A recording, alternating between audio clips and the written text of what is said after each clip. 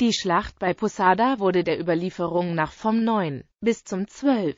November 1330 zwischen einer ungarischen Armee unter der Führung von König Karl I. Robert und einer von Basarapy geführten walachischen Streitmacht geschlagen. Die Schlacht endete mit einer vernichtenden Niederlage der zahlenmäßig deutlich stärkeren ungarischen Armee. Ausgangslage Nachdem 1301 mit dem Tod von König Andreas III. das Herrschergeschlecht der Arpaden erloschen war, folgte im Königreich Ungarn eine Zeit der feudalen Zersplitterung und innerer Wirren. Die Magnaten des Königreiches übten in den folgenden Jahren faktisch die Herrschaft aus und betrachteten die Königswahl innerhalb der weiblichen Linie der Dynastie als ihr Privileg. Den beiden auf Andreas III. folgenden Königen gelang es nicht, sich gegen die Magnaten durchsetzen und die königliche Zentralgewalt zu erneuern. Erst König Karl I. Robert aus dem Haus Anjou konnte die Zentralgewalt nach jahrelangen Auseinandersetzungen mit den Magnatenfamilien wiederherstellen. Durch die lang andauernde politische Krise des Königreichs wurden auch erste Verselbständigungstendenzen in den von ihm beanspruchten und nicht oder nicht mehrheitlich von Magyaren besiedelten Gebieten begünstigt. Im Land südlich der Karpaten, das lediglich eine Art Außenposten des Königreichs war, gelang es schließlich bei Sarabi, verschiedene politische Einheiten, die sich Ende des 13. Jahrhunderts hier zu bilden begonnen hatten und deren Konsolidierung durch die innerungarischen Wirren erleichtert worden war,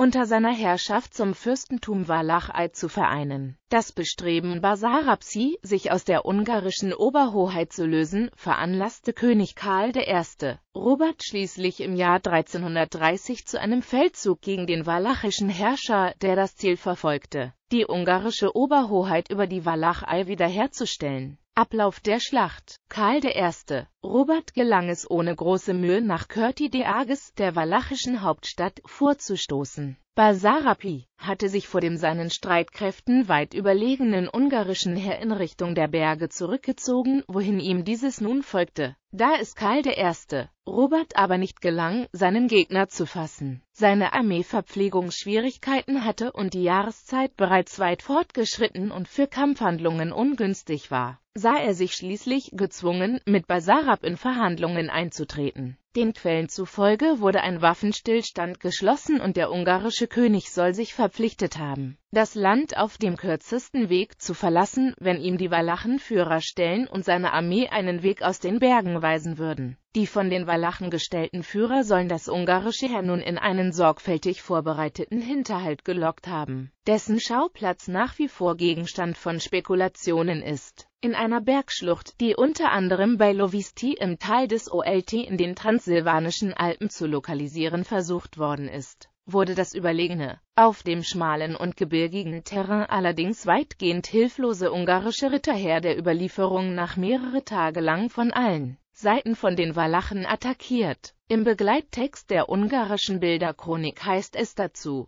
die unzählbaren Massen der Walachen hoch oben auf den Felsen ließen Pfeile auf die ungarische Armee im Tal darunter niederregnen, entlang einer Straße, die nicht einmal Straße genannt werden sollte, sondern richtiger ein schmaler Pfad, auf dem unfähig zu manövrieren die besten Pferde und Soldaten im Kampf fielen, weil sie wegen der steilen Felswände, die Walachen zu beiden Seiten der Straße weder attackieren noch vorrücken oder flüchten konnten, die Soldaten des Königs waren gefangen wie Fische auf dem Trocken. Jung und alt, Prinzen und Edle gleichermaßen, fielen ohne Unterschied in der Schlacht. König Karl Robert gelang es dem Inferno mit wenigen Begleitern zu entkommen, indem er, wie berichtet wird, seine Gewänder und seine königlichen Insignien einem seiner Hauptleute gegeben habe, der gleich darauf durch einen Hagel von Steinen und Pfeilen getötet worden sei. In einfachen Kleidern konnte er schließlich unerkannt wieder nach Ungarn zurückkehren. Folgen die vernichtende ungarische Niederlage erregte nicht nur internationales Aufsehen, sondern stärkte auch Basarabs Position und die seines Fürstentums im internationalen Mächtekonzert. Durch Bündnisse mit den bulgarischen und serbischen Herrschern versuchte Basarab in der Folgezeit die nach der Schlacht de facto unabhängige Stellung seines Landes zu bewahren. Auf Dauer konnte die Walachei jedoch dem Druck ihrer beiden übermächtigen Nachbarn im Norden und Süden, dem Königreich Ungarn und dem seit der zweiten Hälfte des 14. Jahrhunderts auf dem Balkan expandierenden Osmanischen Reich nicht standhalten Das politisch-militärische Agieren dieser beiden Großmächte nötigte die walachischen Woiwoden in den folgenden zwei Jahrhunderten zu einer